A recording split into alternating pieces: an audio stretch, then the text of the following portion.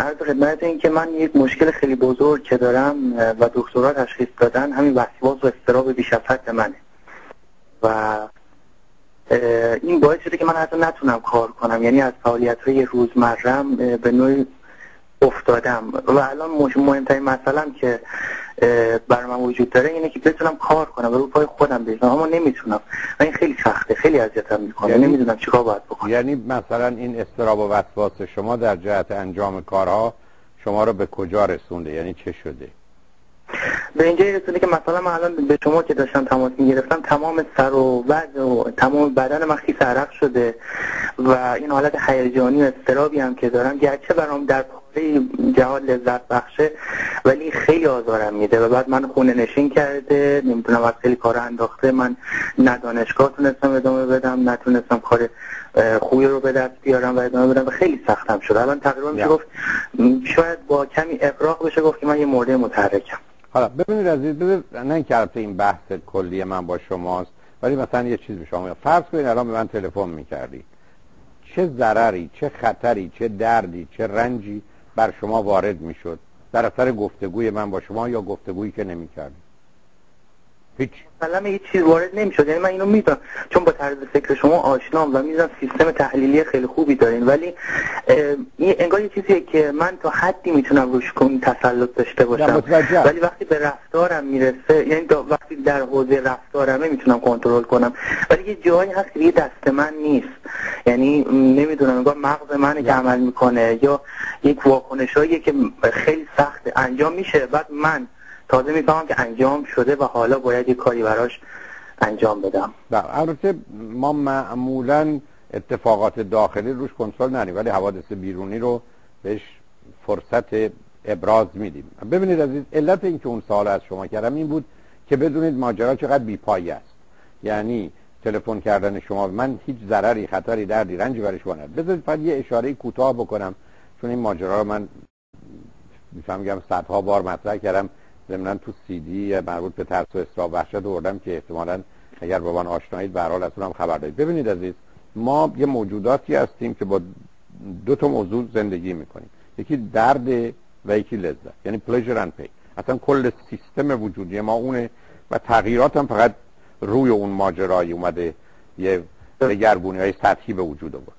در نتیجه چون در طول زندگی با این واقعیت روبرو شدیم که ممکنه درد بکشیم و این درد اینقدر می‌تونه بالا بگیره که موجب مرگ ما بشه در طول تاریخ تکاملمون بدن ما مکانیزم هایی رو به وجود آورده که بتونه با این موضوع برخورد بکنه و نگذاره ما درد بکشیم و یا بمیریم.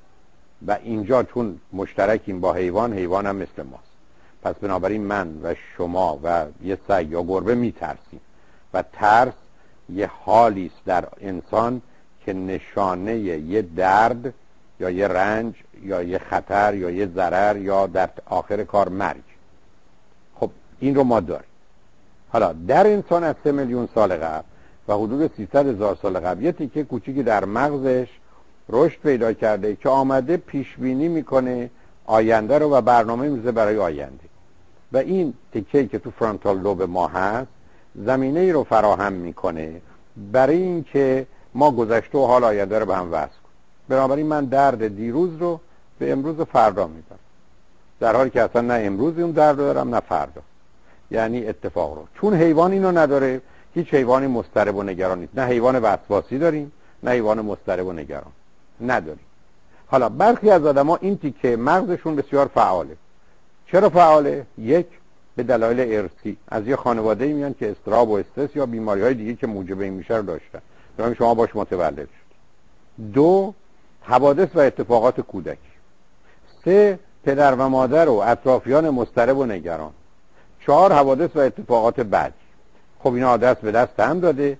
یه چیزی رو در شما تقویت کرده به اینجا رسونده. و به گونه ای که بیان می‌کنید وارد مرحله استراب شدید در مرحله ای بسا در زمین های مختلف فوبیا یا حراس و در یه زمین های وحشت یا پنیک شدید.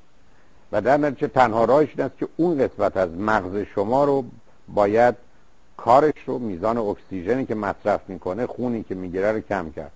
و الا همطور که خودتون گفتید در حقیقت همیشه در پیام مرگ و نابودی میده سر موضوع خیلی ساده و عادی. به همینجاست که راهش اولش جراحیه که حتما توصیه نمی کنم یعنی میشه اون قسمت رو اصلا برداشت و یا به نوعی محدودش کرد. دوم دارو درمانیه که معمولا داروهای ضد استراب یا آرام بخش رو برای هم میدن. سوم از طریق نورو فیدبک می‌تونیم کاری بکنیم که اون قسمت از مغز این فعالیت رو نداشته باشه. چهارم شرایط و موقعیت و روابط شما رو تا حدودی درست کردن که خودتون احساس امنیت بکنید. درست مثل که قرار نیست به سر کار. البته می‌دونم مانع زندگیتونه. و پنجم با همون بحثی که شما کردید سراغ عقل شما اومدن برای که اون لایه بالای مغز توان داره که به سیستم احساسی بگه خاموش باش. تا چه دکتر؟ نه تنها اون کار نمی‌کنه. اون تنها کار نمی‌کنه. تنها کار نمی‌کنه نه نه اصلا. یعنی تا شما به نظر من دارو نخورید و احتمالا از نورو فیدبک اون توصیه نمی‌کنم دارو نخورید و این موضوع جدی نگیرید اصلا شدتی که شما میفرمایید داروه. حالا اشکال کار یاد این مثل شما این است که سر دارو حالا میاد وسواس پیدا می‌کنه. آره دقیقا. خب دیگه. خب من دارو هم مصرف می‌کنم ولی باز نسبت به دارو هم وسواس گرفتم. میگم چقدر مصرف کنم چه میزان مصرف کنم مناسب خب ببینید ببینید سب کن سب کن سب کن. میگه ولش کن نه نه نه سب کن عزیزم سب کن. اصلا این سوال اشتباهه من تا کی باید نفس بکشم؟ تا زمانی که می‌خوام زنده باشم. پس شد سوال. من تا کی باید غذا بخورم؟ تا زمانی که باید زنده باشم. پس دست از این بازی باید برای یکی باید جلو همین افکار شما رو بگیر. تا کی؟ تا ابد.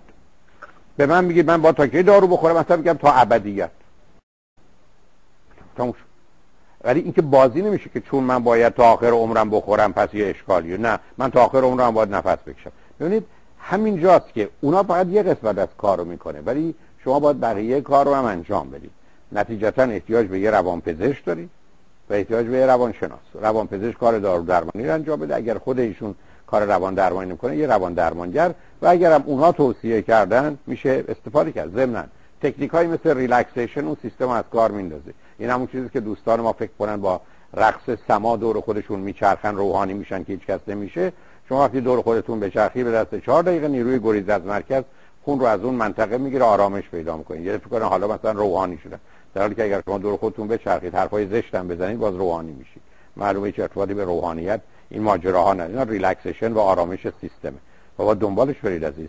یعنی راهی ندارید. و الا این موضوع هم توی گفتید گرفتاری به وجود بره شایع ترین بیماری جهان استرابه ساده ترین بیماری هم که قابل حله استرابه و الا عمیق‌تر و سنگین‌تر میشه. از استراب میریم سراغ افسردگی از افسردگی میریم سراغ خشم و عصبانیت. استرس هم که اینجا شروع می‌کنه حرکت کردن میریم تو مثلث نکبت.